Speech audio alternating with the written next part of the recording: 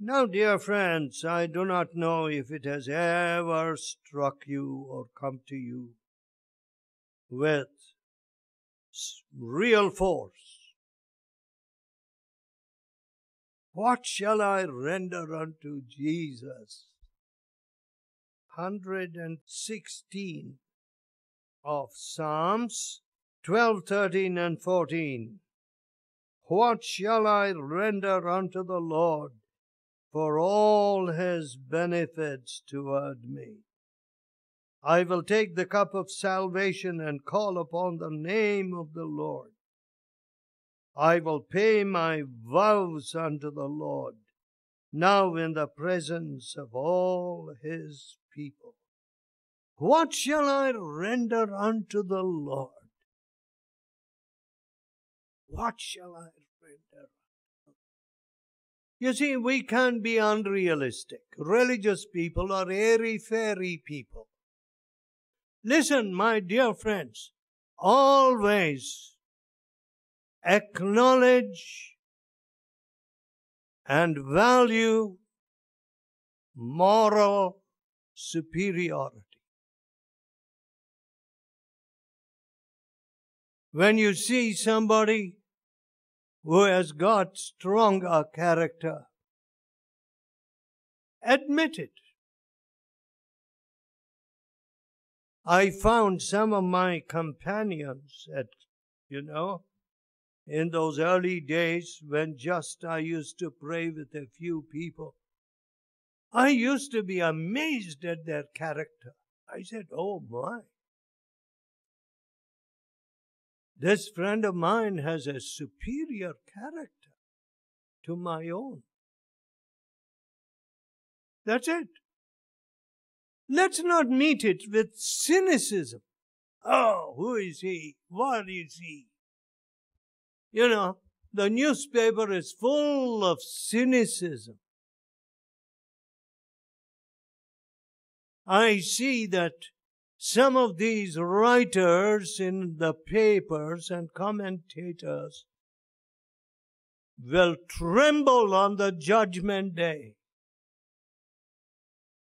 they're filling the land with sewage and cynicism.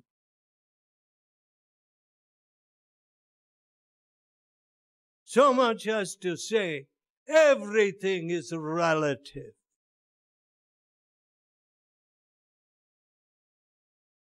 No, everything is not relative. Yes and no can never be relative.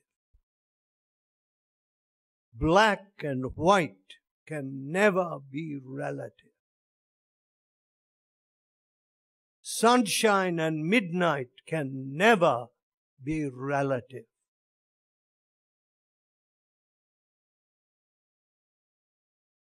Salted dish and a saltless dish can never be relative.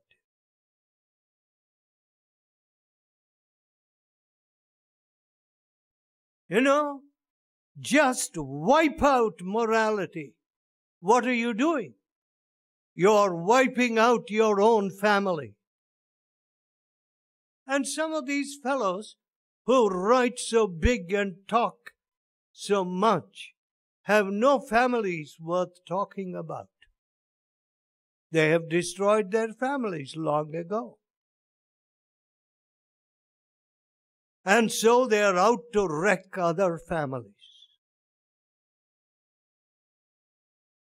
Oh, my dear friends, example. You know what weight example carries. The royal family must know that history's page is recording the devastation caused by an example which should never have emanated from the palace.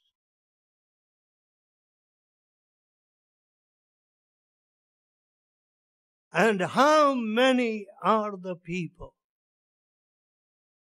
who are walking that path of self destruction? Example. Nobody needs to tell you, my dear friend, that you need to be an example. You know, some one of the things that most people seem to resent today. I'm amazed. I'm just amazed. You know, when I captained a team, I knew that I had to inspire the team. I had to lead the team to victory. If I went in and made a double duck, yeah, it wouldn't help at all. That's not a captain's innings. But so much resentment if told, hey, you're not being an example. Why should I be bothered about being an example to anybody? Oh, mm, why should anybody have to censor me? My dear friends, your conscience censors you.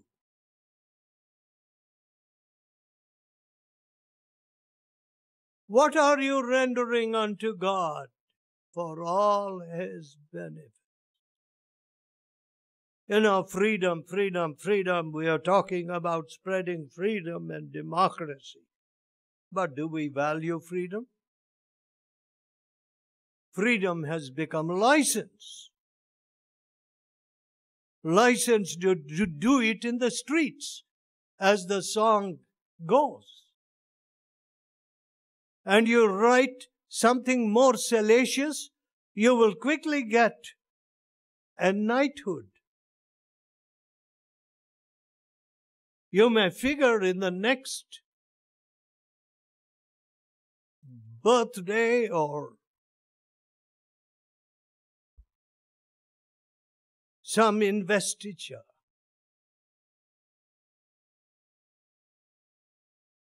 What sickening value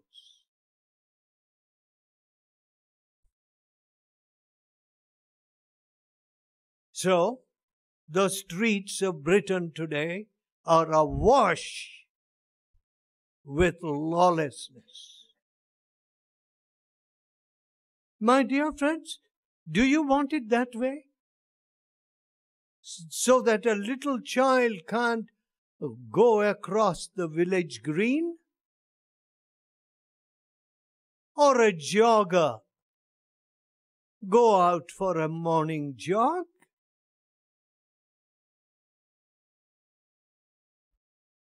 Is this the country that we wish to create? Alas, men shall be lovers of their own selves. Why should I be an example? I will do my thing wherever I please, be it the street or be it anywhere.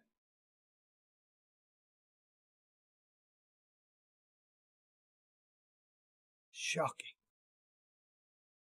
Shocking display of national immorality.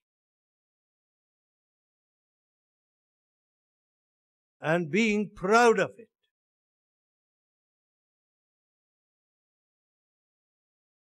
Men shall be lovers of their own selves, unthankful proud, covetous, unholy. Parental responsibility is another thing that is given the go by. You know, I can't do anything about it. Why? Is there no moral rudder in the family? Is there no word of God? Are there no Ten Commandments? You know, our little effort in Hyde Park Corner, Speaker's Corner,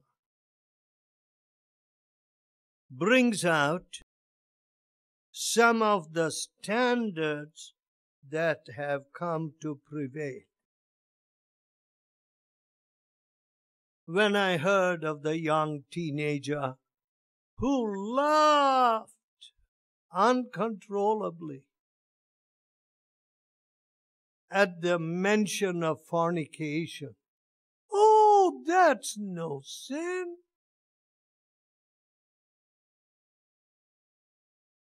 And these are the kind of people that are filling this world with the spread of AIDS. No, that's no sin. Of course, if you go by the writers and the commentators in our newspapers, that's what you would say. Alas, men shall be lovers of their own selves, unthankful, unholy, covetous. You know, friends,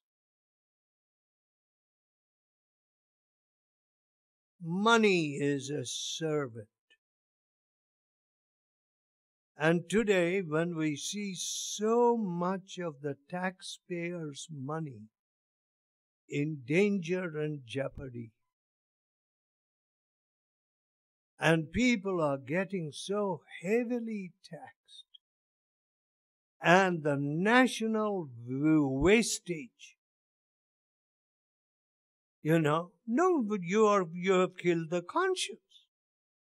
You have taken away, thou shalt not covet, thou shalt not steal.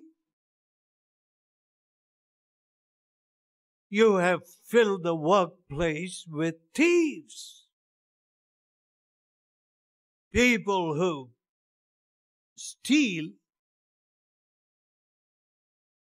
the time from the government. Workmen that give no more than six hours or five hours of work and go home with a paycheck, paying them handsomely for eight hours. I want to tell you, my dear friends, if you don't shine in the workplace, there's something wrong with you. Something seriously wrong with you. Because here are fellows just passing time while Britain sinks. And you are there working meticulously, conscientiously, honestly, You mean to say you would need somebody watching over you to discover that your work is superlative? No. Nobody needs to acknowledge it. Nobody needs to backpat you. But you are doing it whatsoever you do, do it as unto Christ. That is our law. We do it unto Christ. So the whole nation is benefited. The money of the taxpayer is conserved, not stolen.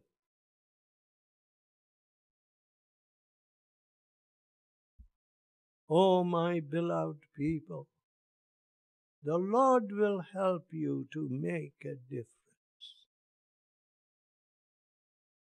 Really speaking, instead of laughing at each other. You know, when you have clowns in places of authority, they will be there to entertain. Oh, I overheard a conversation between Mr. Bush and uh, Blair. Not a very nice conversation. And that has to be broadcast to everybody. Well, idlers, plain idlers. They are wasting public money sitting in the chamber.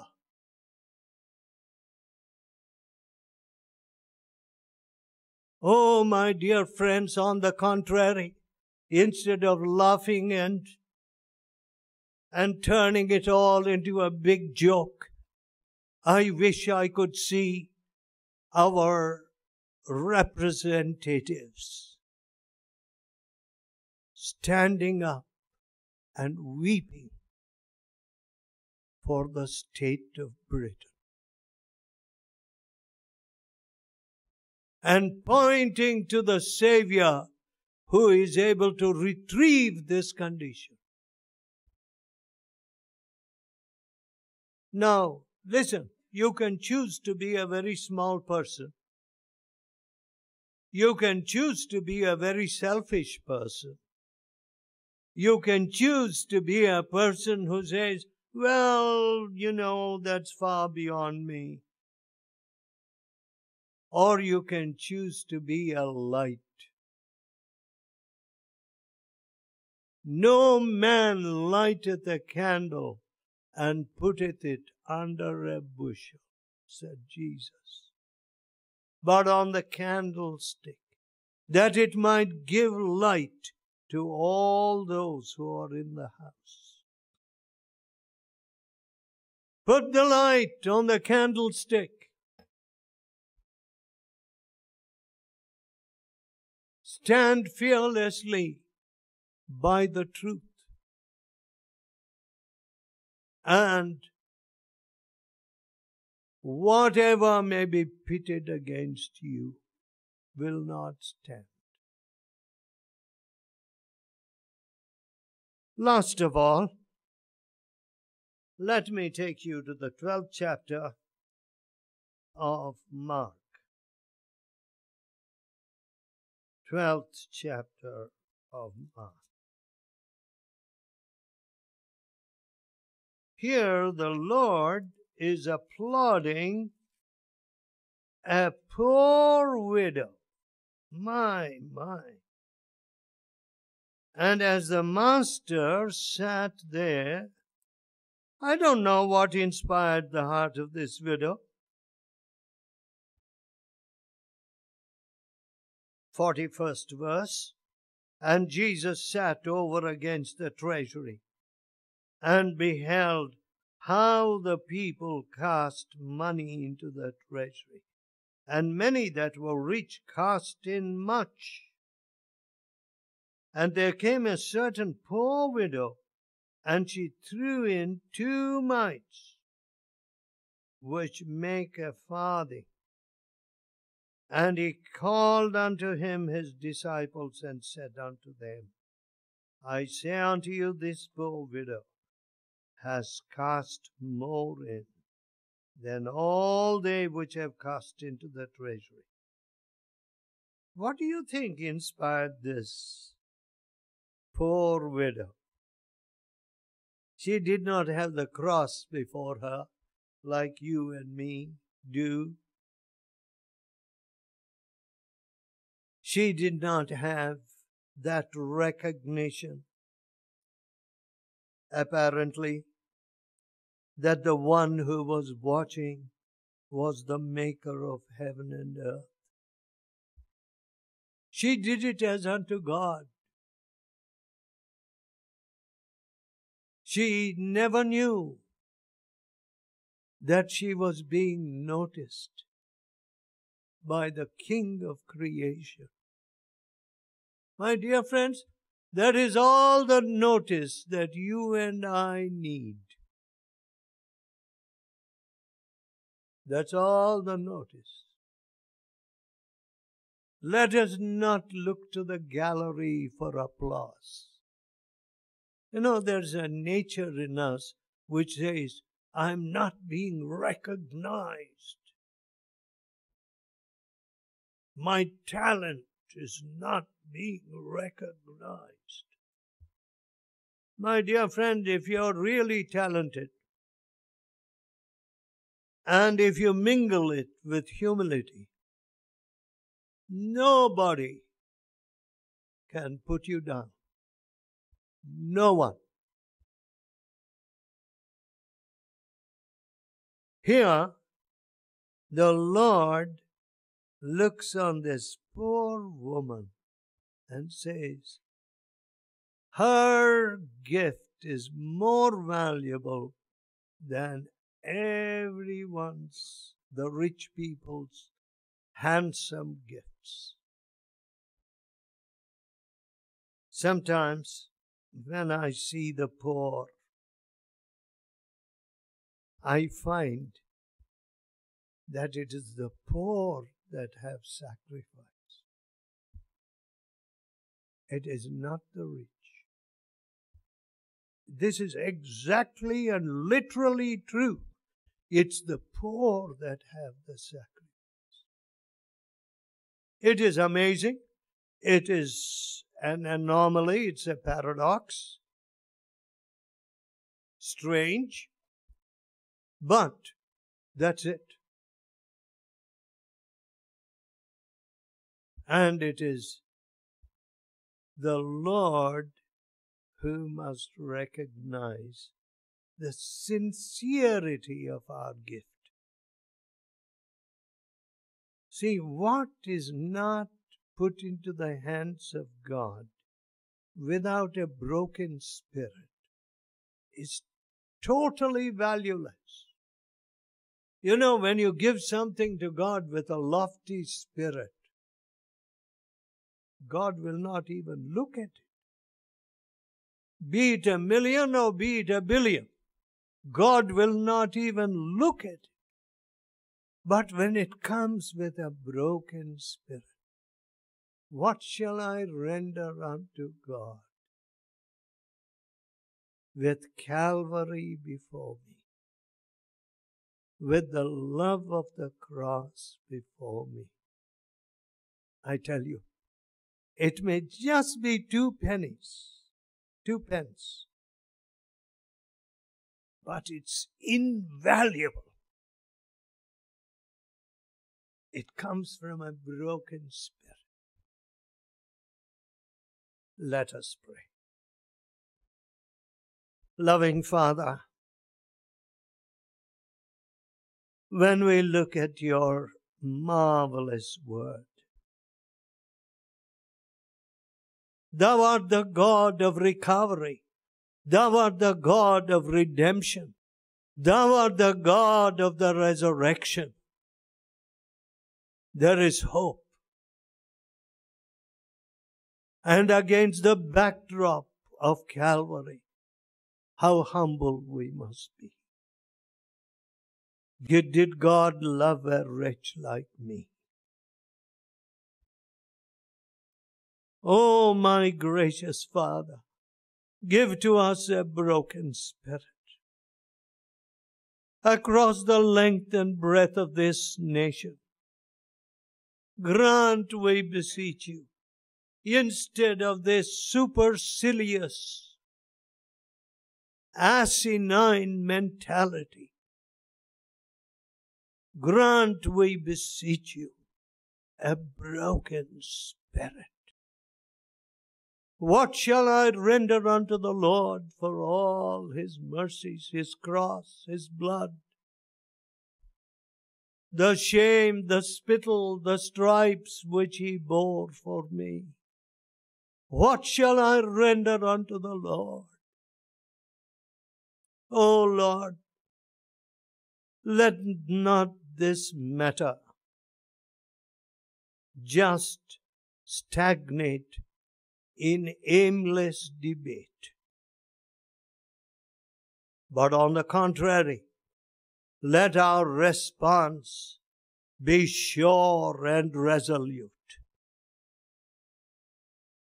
Be truthful and worthy of the cross. Hear our cry and imprint your truth upon our hearts. We ask in Jesus' holy name. Amen.